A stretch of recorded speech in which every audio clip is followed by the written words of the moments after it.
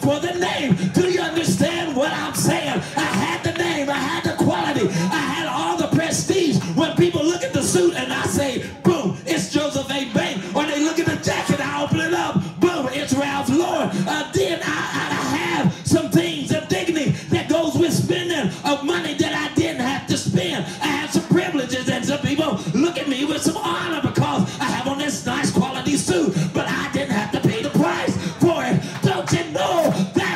Jesus did for us? He died on the cross for our sins. He rose with all power in his hand. And when we have the name of Jesus applied to our life, we have healing, we have victory, we have salvation, we have redemption, we have deliverance, we have power, we have overcoming, we are conquerors, but we didn't have to pay the price. We get all the quality,